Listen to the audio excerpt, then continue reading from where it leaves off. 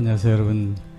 오늘은 아, 여러분에게 이렇게 AR 스튜디오를 어떻게 만드는가에 대해서 한번 설명을 드려보겠습니다. 아, 여기에는 지금 이제 에, 이 칠판 아, 저희가 얘기하는 AR 칠판 혹은 VR 칠판이 있는데 저는 실제로는 이제 이런 아, 환경에서 촬영을 하고 있습니다. 여기 이제 보시면은 아, 이런 데인데 여기 보시면 이런 어, 책상이 위에 여러 가지가 있지만 실제 나오는 것은 어, 이런 식으로 어, 이제 보이고 있는 어, 환경이 되겠는데요. 어, 이렇게 그, 그 시, 실제를 살포시 다루어서 어, 증강 스튜디오처럼 만드는 것 이건 이제 다름의 에, 사실 특허 기술이기도 합니다. 어, 지금까지 나와 있는 이제 스위처 믹서는 다 어, 카메라 혹은 이렇게 믹싱 이 정도였는데 지금 이렇게 약간의 그 가상 느낌이 나는 예, 스튜디오를 만드는 기술 뭐 이런 것이 이 에, 다른 모든 아이 스튜디오에는 이제 적용이 되고 있습니다. 아, 특별히 이제 그 어, 여기에 보면은 이 화면에 제가 지금 어, 그림, 픽처 또 이런 파워포인트 어, 또그 줌 화면이 있는데 지금 이제 음악이 있기 때문에 저 오디오 박스가 있는데 여기 이제 오디오를 제가 이렇게 좀 이렇게 변화시켜서 소리를 좀 줄여보겠습니다. 어, 그러면은 이제 에, 이런 오디오 화면이 되는데 그 오디오 화면을 딴 데로 다른 모니터로 옮겨 놓으면은 줌이 되죠. 줌, 줌이 나오면 이 화면이 여기에 나오니까 줌 화면에 학생들이 이제 움직여진다. 그러면은 어, 제가 이 포인터를 이렇게 바꿔가지고 여기 포인터를 해서 줌에 뭐 실제 지금 이제 연결이 안 됐으니까 이렇게 샀는데 예, 이줌 화면에 그 있거나 아까처럼 이제 여기에 그 파워포인트가 아, 이렇게 오거나 이런 것이 있는데 아, 예를 들어서 여기다가 이제 에, 이렇게 그 자료를 만들었다 또 바꿨다 어, 뭐 실제 이제 여러 학생들이 오면 이렇게 바꿀 수가 있겠죠. 이것을 직관적으로 여기 있는 거 하나를 버튼을 나눠서 여러 컨텐츠를 바꿀 수 있다. 또 여기서 그 파워포인트 다음 장을 하면 이 파워포인트의 다음 장들이 이제 넘어가게 돼 있는 겁니다. 즉 어, 지금 제가 이렇게 설명을 하면서 이 classroom의 크기는 어, 이렇게 프로젝터가 있을 때 좀 더 커졌고 그 다음에 사실 유튜브가 되면서 엄청 커진 거죠. 유튜브가 스마트 세상을 교실로 했으니까 그리고 그게 다시 이 아이스튜디오로 들어가면서 정말 그 몰입감 있는 스튜디오가 됐다. 이렇게 이제 이야기를 할 수가 있겠습니다. 그래서 어, 이 아이스튜디오의 의미는 에, 그 수업의 방식을 그 바꿔 어, 더 확대한다. 교수님이 강의를 하실 때에 혹은 선생님이 강의를 할 때에 스마트폰에 실제로 강의할 때 어떻게 하느냐. 첫 번째는 칠판이 있어야 된다. 두 번째는 포인터가 있어서 이렇게 이제 포인팅을 하는 거죠. 그리고 페이지를 바꿔가면서 수업을 하는 것입니다. 그래서 지금 그 코로나 이전에 이제 많은 분들이 이렇게 강의를 했는데 교실에서 학생들이 선생님과 칠판을 보는 이 교실 환경.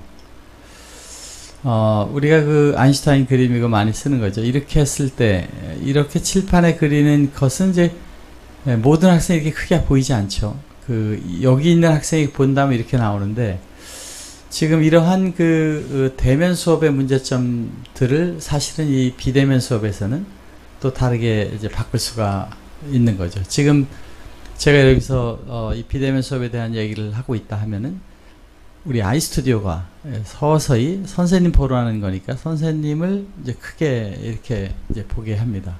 실제 저는 이 어, 보고 있는 그 이 화면에서는 이렇게 돼 있는 거죠. 이렇게, 이런 데서 수업을 하면서 칠판을 보여야 되는데 이, 이 공간에 여기다 전자칠판을 놓든 하는 것에 문제가 있으니까 이것을 이렇게 놓고 수업을 하는 증강교실인 거죠. 여기, 그, 여기 그린이 있으면 이제 크로마키로 하면 또 되지만 많은 데가 그린이 없으니까 가장 단순한 방식으로 프레젠테이션 한다면 이렇게 할 수 있다. 그래서 여기에 이제 보이는 그, 이, 이 화면에서 이 파워포인트를 이제 에, 바꿔가면서 보이는 거죠. 이렇게 해서 여기에 이 다양한 그, 에, 프레젠테이션 할 수 있게 선생님이 혼자서 실시간으로 이런 화면, 증강현실 화면에 수업을 해도 그것이 충분히 예, 학생들이 교실에 온 것 이상을 볼 수 있기 때문에 저는 이것을 스마트폰으로 보는 선생님과 스마트폰에 나타난 학생. 지금 여기서 이제 학생이 이렇게 나오는 거죠. 여기에 보면 이제 그 어, 다양하게 이쪽에다가 아 그 내용을 바꿔 줌의 학생을 나오기도 하고 실제 이제 줌을 하면 이렇게 나오겠죠. 이렇게 되고 아, 여기에서도 그 더블 클릭을 하게 되면 더블 클릭 full screen이 되는 거죠. 학생들만 나와서 보이게 되고 다시 더블 클릭하면 들어가게 되고 그래서 화면 강의는 이제 그 뉴스에서도 보면 아나운서 나올 때 그 어깨걸이가 나올 때는 또 이것이 이렇게 조금 더 크게 나와서 이쪽을 보라는 거.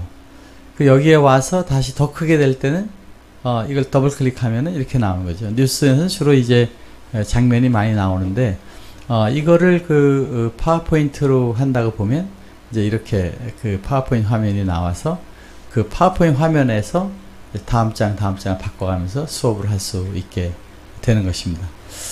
자, 지금 이, 이, 제가 작동하고 있는 이 환경은 사실 굉장히 그 어드밴스된 환경이죠. 예, 파워포인트의 장면도 전환하고, 또 저 가상 칠판에다가 다양한 아, 비디오 파일, 파워포인트들을 움직이면서 하고, 또 이 장면이 전환이 돼서 학생들이 선생님을 크게 볼 때와 또이 예, 칠판을 크게 볼 때가 이게 자동으로 변하게 되는, 어, 이러한 것이 이제 다림의 에, 그 특, 뭐 특허 기술들이 되겠습니다. 여기에 에, 이 자막도 넣을 수가 있습니다. 사실 이 자막을 선택해서 어, 이제 멋진 자막을 이렇게 뭐 이런 글씨도 어, 넣게 되고 이렇게 되는데 어, 사실 여기 뭐 이런 이제 그좀 어, 좀 멋진 자막을 하면 이렇게 에, 되게 될 수가 있죠.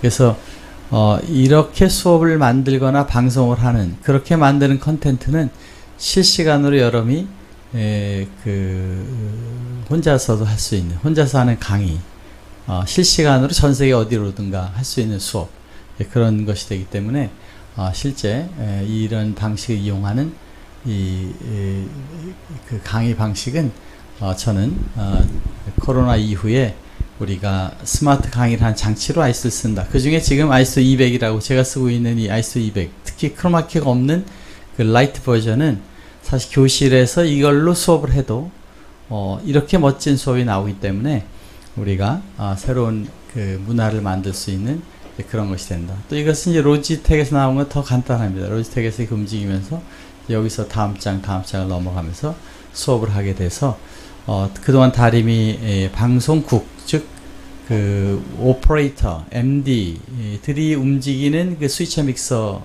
어, 가상수 했다고 하면 지금은 이제 강의를 하는 스마트 세상에 강의를 하기 위해서 모든 방송 기술, switcher, 믹서, virtual, 크로마키, 또 자막, 아, encoding, recording을 전체적으로 넣는 아, 그러한 방식을 해서 이제 에, 드디어 아이스튜디오 200 그동안 300, 400이 주로 갔는데 200 더 간단하고 더 편리하고 어, 어, 뭐 심플한 편리한 거죠. 기능이 조금 더 적은 거지만 오늘 보신 것처럼 굉장히 많은 기능이 있다. 즉, 이 에, 칠판이 하나를 사용해서 동시에 그 줌과 여러 가지를 넣는 것은 아니지만 그래도 여기서 이렇게 어, 화면을 보이거나 또 뭐 제가 하고 있는 이런 다양한 카메라들을 보이거나 파워포인트를 보이거나 이런 것이 되고 그 안에서 움직이는 이 장면들이 전환되는 게 자동으로 되기 때문에 자막도 되고 하다 보니까 누구나 이런 방송을 멋지게 만들 수 있다는 것입니다.